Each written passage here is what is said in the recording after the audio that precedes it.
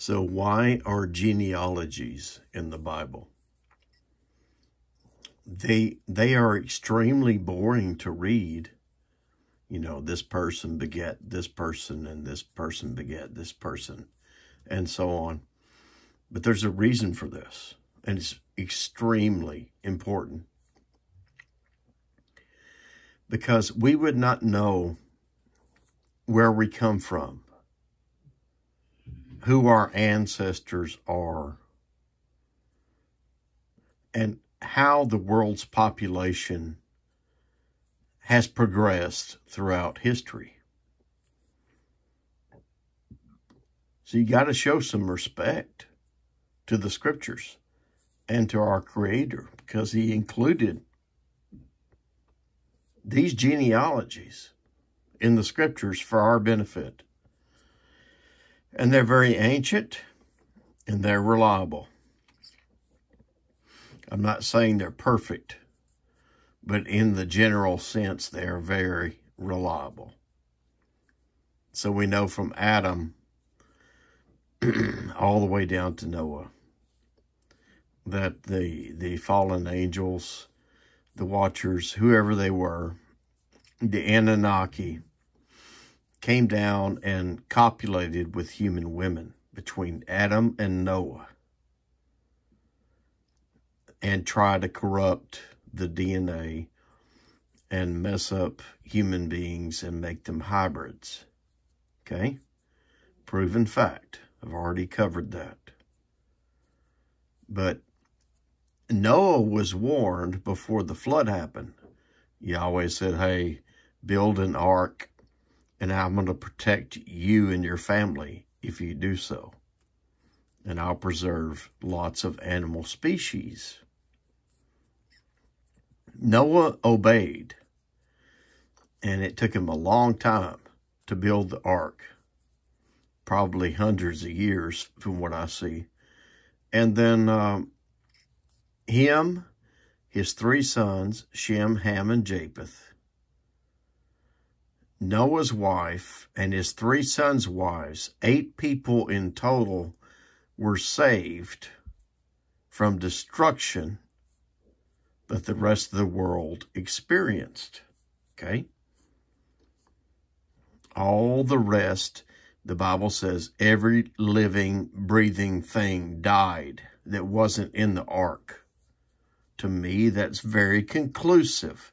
There were no Nephilim, or Anunnaki or anything else that survived the flood. So that's disproven by what the Bible says. Every living thing that had breath inside them died on the face of the earth except for Noah and his family. Eight people. And the animals in the ark with them. That being said, just giving you a background let's look at what happened after. After 40 days and 40 nights, the great flood engulfed the earth and killed everybody except Noah and his family in the ark. And the point where the waters started to recede from the face of the earth, they started to dry up according to Yahweh's edict. And then the ark, the boat that Noah built, came to rest on the mountains of Ararat while the waters were receding. Keep in mind, only eight people were alive on the face of the damn earth, folks. Shem, Ham, and Japheth, his sons, Noah's wife, and his sons' wives. Eight people. That's it. And the book of Peter reaffirms that. So let's look at what happened. and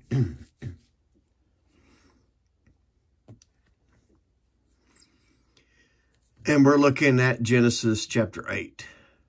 Now, this is this is exactly after the end of the flood when the water started drying up. and in the seventh month, Genesis chapter 8.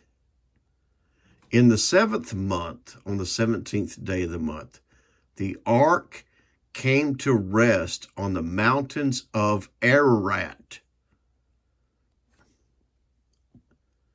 Where is Ararat? Let's look at it real quick.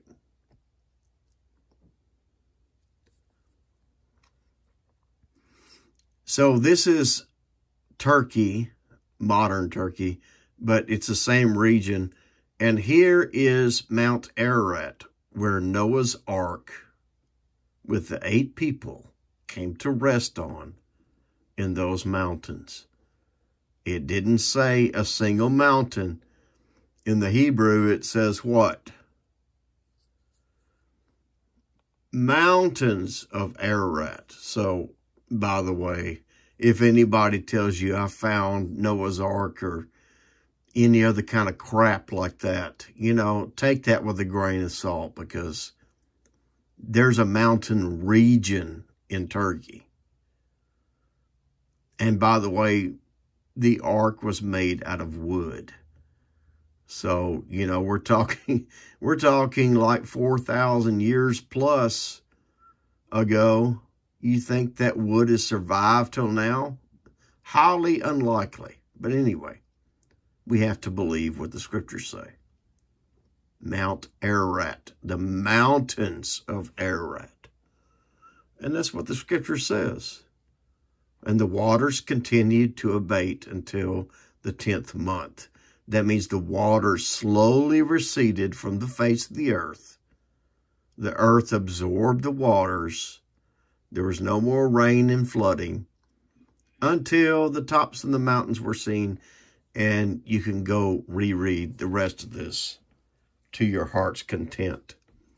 But the basic facts are the ark did come to rest. Where? In modern day Turkey on the mountains of Ararat. Now look down here. Here's Israel. Here's Syria. There's Iraq, Armenia, Russia, Georgia, Greece, Bulgaria, Romania. All right, so this is a central location, pretty much in Eastern Europe. And what I want to show you through this genealogy is this is extremely important. By the way, down here is uh, Northern Africa, Africa, Africa, Egypt, and there's Saudi Arabia. All these other countries down here to the south. There's Africa, this, this region. Mediterranean Sea. So let's look at the genealogy and see what it tells us. Do you trust in your Bible? I hope so.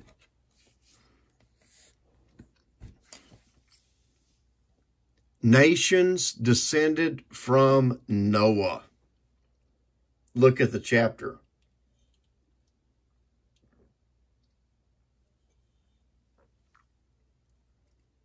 Genesis chapter 10. This is after Noah and his sons and their wives came out of the ark and replenished the earth. Very ancient times, very ancient text. These are the generations of the sons of Noah. Shem, Ham, and Japheth. Three sons, folks, and their wives from this three descendants of Noah, all the earth that exists now has been repopulated because they were all wiped out before the flood. But sons were born to them after the flood. Who? Who is them? Shem, Ham, and Japheth.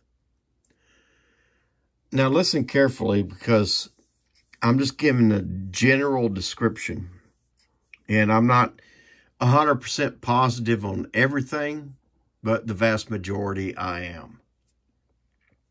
The sons of Japheth, Gomer, Magog, Madai, Javan, Tubal, Meshech, and Tiras.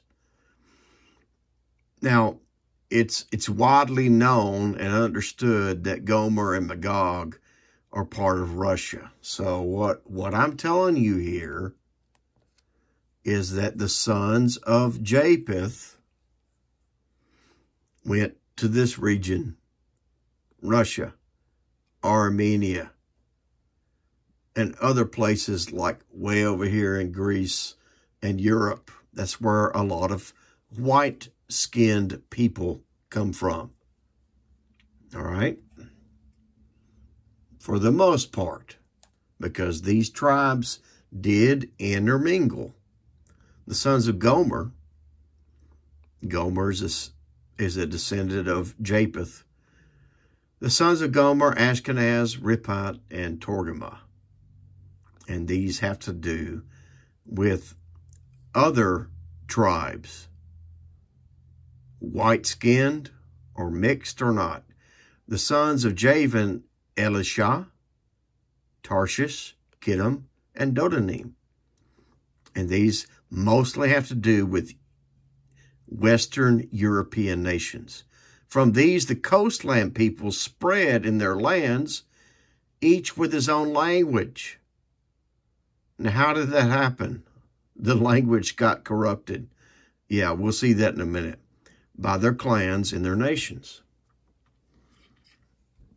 So here we go with another son of Noah, Ham. Remember, Shem, Ham, and Japheth, three sons of Noah. The sons of Ham, Cush. Egypt, Put, and Canaan.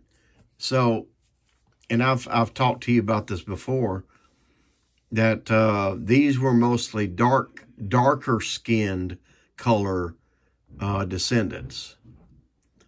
The sons of Cush, Seba, Havilah, Sabta, Raamah, and Sabtika. The sons of Raamah, Sheba, and Dedan. So these all have to do and are assimilated with mostly, mostly African countries, tribes. So Cush, Cush is a descendant of Ham, father Nimrod. He was the first on earth to be a mighty man. And I've talked to you about this before. He began to be a, giant on the earth. So this is where the Nephilim, the Anunnaki, the Anunnaki interbred with the daughters of men and produced Nephilim giants and monstrosities. He was a mighty hunter before the Lord. And I've told you before, in the face of or against, he was a monster. Kinegos in the Greek means monster, monstrosity. He was a monst. He is a great monstrosity enantion. That means against Yahweh. Therefore, it is said, like Nimrod, a mighty hunter against Yahweh.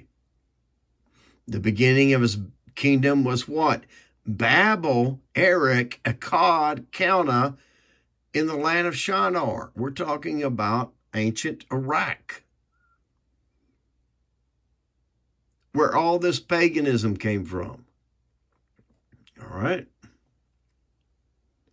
From that land, he went into Assyria. No, I've told you before, out of that land, this person went out Asshur.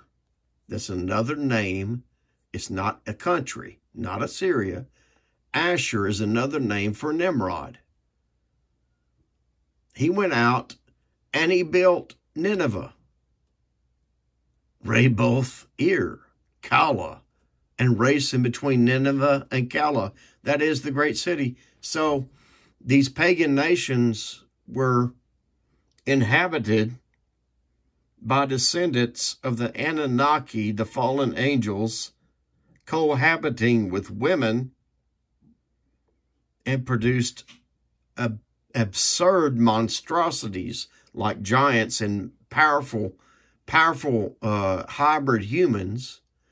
Pathrusim, Casluhim, from whom the Philistines came, you know, the Philistines were a big enemy of Israel, and Caphtorim. Canaan, another descendant of Ham, Noah's son, fathered Sidon, his firstborn, and Heth, and the Jebusites, the Amorites, and the Girgashites, the Hivites, the Arkites, the Sinites, the Av, Arvadites, the and the Hamathites. Afterward, the clans of Canaan, Canaanites dispersed. So we have this corrupt descendants of what we call giants, descendants of the Anunnaki, the fallen angels, evil spirits that interbred with humans produced all these people. And they became enemies of Yahweh's chosen people through Abraham. And the territory of the Canaanites extended from Sidon to the direction of Gerar as far as Gaza. That has to do with the Philistines. And in the direction of Sodom, Gomorrah, Admah, and Zeboiim. Zebim, as far as Lasha. These are the sons of Ham by their clans, their languages, their lands, and their nations.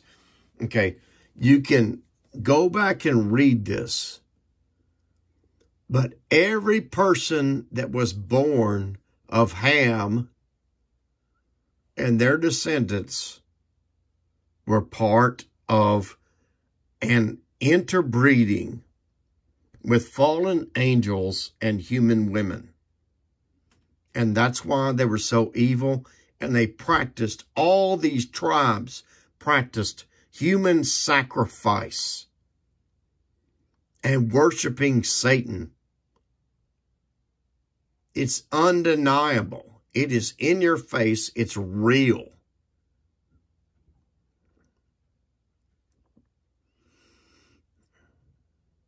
So let's look at Shem. So we've already looked at Japheth. We've looked at Ham. And now Shem, the three sons of Noah. To Shem also the father of all the children of Eber. Now, by the way, Eber is the word for Hebrew the first Hebrew was born to Shem. So that's where the Israelites came from. He's the elder brother of Japheth, the firstborn, by the way. Eber's the firstborn. Children were born, the sons of Shem, Elam, Asshur, Arphaxad, Lud, and Aram. The sons of Aram, Uz, Hul, Gether, and Mash. Arphaxad fathered Shelah, and Shelah fathered Eber. To Eber were born two sons. The name of the one was Peleg. For in his days the earth was divided. That means you can research this. It the earth used to be like Pangea. It was not divided. You can look that up on Google. But it was divided, and that's why all these cultures across the world, same they share the same architecture and similar beliefs in different languages. And his brother name, his brother's name was Jotan, Joktan. Joktan fathered Almodad, Sheleph, Hazarmaveth, Jerah, Hadaram, Uzal, Dikla, Obal, Abimael, Sheba, Ophir, Havilah, and Jobab. All these were the sons of Joktan. We're still talking about the descendants of Shem. The territory in which they lived extended from Mesha in the direction of Sephar to the hill country of the east. These are the sons of Shem by their clans, their languages, their lands, and their nations. These are the clans of the sons of Noah, according to their genealogies in their nations And from these, the nations, and there were 70 of them when they spread out abroad on the earth after the flood. So why, you know, why this long video? Why all these descriptions? Because you got to know where you come from. And you got to put your trust in the scriptures. All right? Take a look at that map.